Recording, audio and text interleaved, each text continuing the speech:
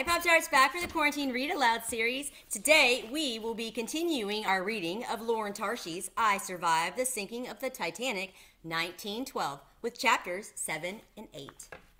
Just thinking about seeing the mummy made George happy. He went down five flights of stairs to G deck and practically skipped along the long hallway toward the front of the ship. He ducked into doorways a few times to hide from the night stewards, but he had no trouble finding his way, not like Phoebe, who got lost walking from the dining room to the washroom. Next time I'll leave a trail of breadcrumbs. Like Hansel and Gretel, she'd said their first day on board. How about lemon drops, George had suggested. Phoebe had giggled.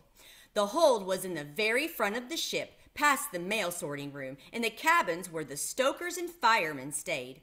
Too bad George thought that there wasn't time to sneak in and see the escape ladders. Luckily, there were two more days at sea. George walked right through the doors of the first class baggage room and down a steep metal staircase that led to the hold. All around him were crates and trunks and bags neatly stacked on shelves and lined up on the floor. It took him a minute to figure out that everything was arranged in alphabetical order by the owners' names and a few minutes to find the bees. That, and there it was, a plain wooden crate stamped with the words Mr. David Burrows, New York City, contents fragile.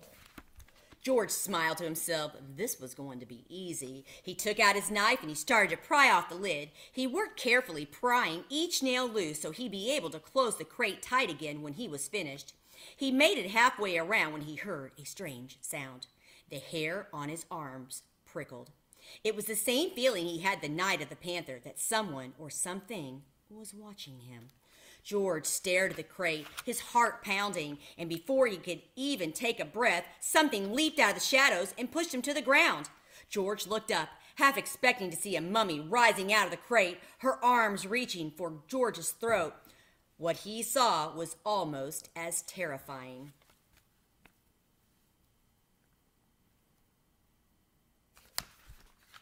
It was a man with glittering blue eyes and a scar running down the side of his face. He grabbed George's knife out of his hand. The man was small, but very strong. I'll take this, he said, admiring it. Then he looked George up and down. So, the man said, trying to fill your pockets with some first class loot? George realized he must be a robber. George had caught him in the act. Uh, no, I'm the man pointing to George's boots. Which trunk did you steal those from? Costs more than a third class ticket, I'd say. George shook his head. I got them in London, he said, and too late realized he'd made a mistake. Ah, a prince from first class, the man said with a hearty laugh. Just down here for a little thrill? What's your name? George, said George softly. Prince George, the man said, bowing in a joking way. A pity those boots won't fit me, he added, standing up, but you do have something I'd like your key. Always wanted to see one of those first class cabins. There was no way George could let this man up to the suite. He'd jump overboard before he let him near Aunt Daisy and Phoebe. There's a mummy down here, he blurted out. It's worth millions. It's in this crate. The man raised an eyebrow. George kept talking. I thought I could sneak off the ship and sell it in New York, George lied. My father's business is bad, and I thought if I could sell it. The man looked at the crate. I like the way you think, he said. He waved the knife at George and told him not to move, and then he quickly worked the knife around the lid. Obviously, he had done this many times before.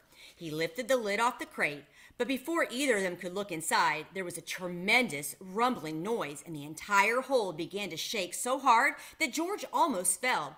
The shaking got stronger and stronger, the noise louder and louder, like thunder exploding all around them. A trunk tumbled off a shelf and hit the scar faced man in the head. The knife clattered to the floor, but George didn't try to get it. Here was his chance to escape. He spun around, ran up the stairs, and darted out the door. Chapter 8 George ran as fast as he could down the hall. He heard shouting behind him, but he didn't stop until he was back on B deck, safe again in first class. A steward hurried past him with a stack of clean towels. Good evening, sir, he said. George nodded, out of breath. Nothing could happen to him up here, he knew. So why was his heart still pounding? It was the ship. He realized that thundering noise, that shaking in the hold, had a boiler exploded, had a steam pipe burst? An eerie silence surrounded him, and George's heart skipped a beat as he realized that the engines had been turned off. The quiet rumbling had stopped. Just outside, George heard people talking loudly. Did they know what was happening?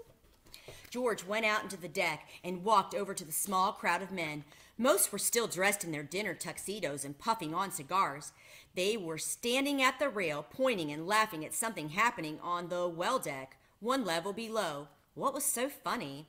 George squeezed between two men and looked over the rail. At first, he was sure his eyes were playing tricks. It looked like the well deck had been through a winter storm. It was covered with ice and slush.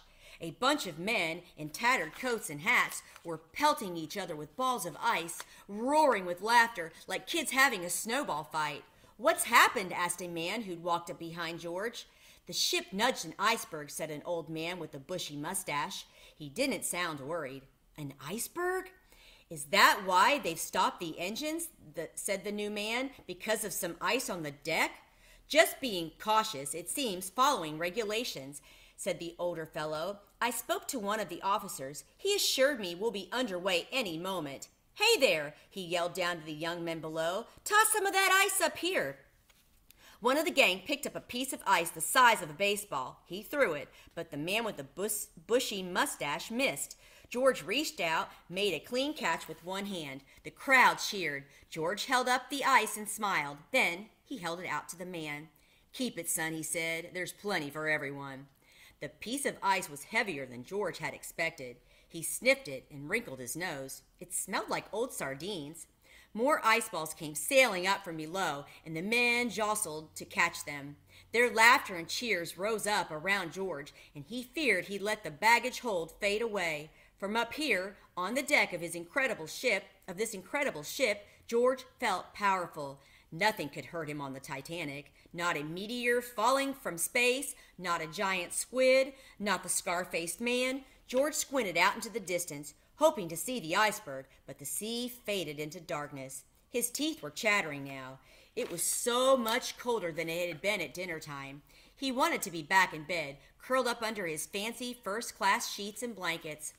The corridor was still quiet as George crept toward, as George crept toward his suite.